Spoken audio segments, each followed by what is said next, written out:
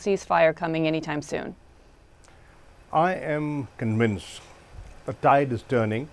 I am convinced the public pressure, the pressure of public opinion is mounting and ceasefire is inevitable.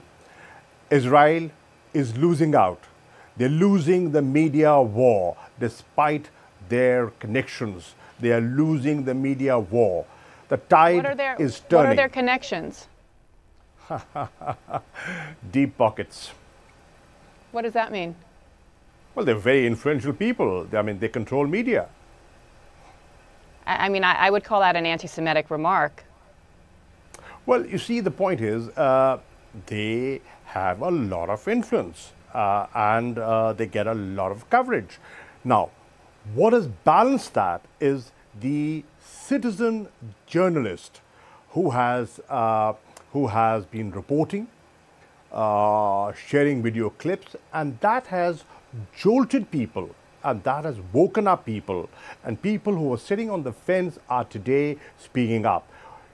Do you see how uh, in different capitals of the world, in, in, in, uh, in London, in Madrid, uh, you know, in, in, in Michigan, Chicago, every place, from Sydney to uh, the European capitals, people have come out and saying, put an end to this insanity. They're calling for an immediate ceasefire. Now, the Security Council has failed in forging a, uh, a, joint uh, uh, statement and, and coming out with a joint statement and forging a consensus. The General Assembly today is giving a clear message to the Security Council. It is your prime responsibility to ensure peace and security. Please live up to the UN Charter. But, Mr. Ambassador, can we not separate the fact that there are calls for peace and for equal human rights for both sides, for Palestinians and for Israelis, without anti Semitic talk and rhetoric? And we are seeing an increase in anti Semitism throughout the world. Many of these protests are showing signs and images of anti Semitism as well. Shouldn't you be condemning that? I will not justify any uh, rocket attacks, and I cannot justify and I cannot uh, condone the aerial bombardment that is taking place. But what about I'm anti saying- Semitism? And what about I- Hamas's role in stopping the rockets? I am saying when you do not engage, when there are no negotiations, when there is occupation, when there's genocide, when there's war crimes, when there's ethnic cleansing, then an extremist element takes advantage of that situation.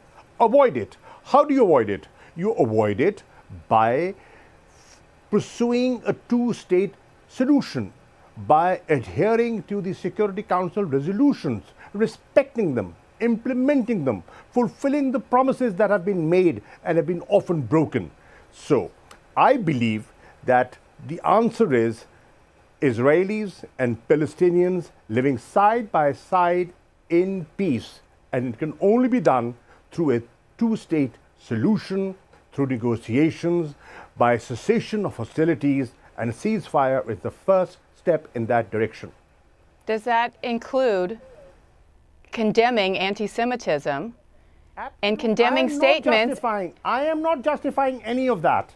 You began this conversation. I am so sorry. There are so many things I want to talk to you about, but I personally am offended as a journalist. You began this conversation by saying that Israel, suggesting that Israel has, quote, close friends and powerful friends in the media. That is an anti Semitic trope. No, no. What I'm saying is the perception. Look at the perception the world has. You cannot ignore that, ma'am. But that's a wrong perception. Could be wrong, but that's the perception. Negate it. Well, someone- negate someone- it. by giving by giving a balanced coverage. Negate it. The onus is not on those who are being uh, accused of things that aren't true.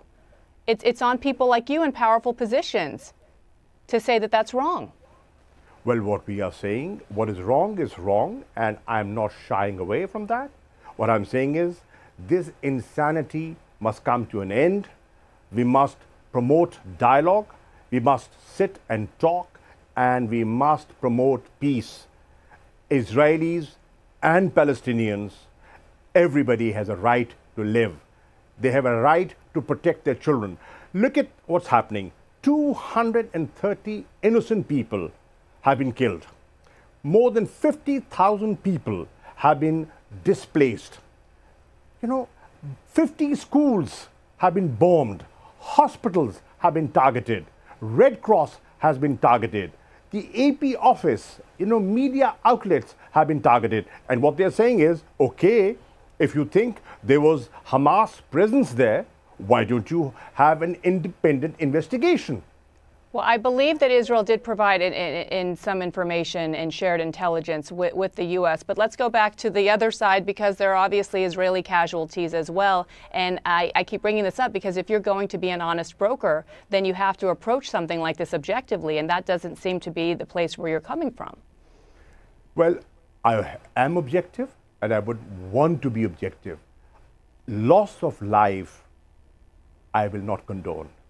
Every life every human life is important to me. And what about um, your, so you, you can agree, we can agree that, that Palestinian lives and Israeli lives are equally important?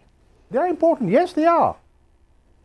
So let me move on to um, another area, and that is the Uyghurs and the Muslim community there, and some 2 million Uyghurs. Um, many uh, in the U.S. and many other countries around the world are calling their treatment um, genocide. And, and I'm wondering why we're not hearing the same from your government. Well, my government has always uh, spoken uh, with frankness. You know, China is a very good friend of Pakistan. They've stood by us through thick and thin, and we have means of communication, and we use our diplomatic channels. We do not discuss everything in public. But China being your friend aside, and I know China provides a lot of aid, you can't just turn a blind eye to, to human rights abuses in, in one country Nobody when we've spent. Nobody so, is. so, so, so is something being? Is there are there discussions behind the scenes? Is your prime minister, always, Prime Minister Khan? Uh, uh, ma'am, there's always a way of doing things, and we are not oblivious of our responsibilities. So, what needs to be done then? To, to the Uyghur community around the world that is listening to you spend a lot of time talk about human rights in, in Gaza, um, question about their same legitimacy to human rights as well? Well, we have been advocating for human rights, whether they are in Gaza or in Indian occupied Kashmir. Look at the atrocities that have been committed in Kashmir. Does the world talk about it? How many people have talked about it? You know, let's let's be fair. You know, let's let's have a fair assessment of how much coverage has that got. Mr. Ambassador, I, I do want to turn to the pandemic, and we'll we'll end. I'm not ambassador. I'm sorry, I'm sorry, Mr. Foreign Minister. Let me, let me turn to the pandemic and ask about the latest wave that we've seen in your country, in Pakistan. We've seen an increased number of cases there and deaths. Um, what is being done? How alarming is that? And what does your country need to help in this fight? Uh, Bianna, uh, to begin with, Pakistan has managed, under the leadership of Prime Minister Imran Khan, the first wave and the second wave reasonably well. We're in the midst of our third wave. Now, if we draw a comparison of the situation in Pakistan and next door, you know, uh, look at the situation on the, you know, what our eastern neighbors facing, there's a huge difference. You know, there are over 4,000 casualties on a daily basis. There, there's no there's no winner. I'm not pitting you against India. I, am saying that every loss of life is a tragedy.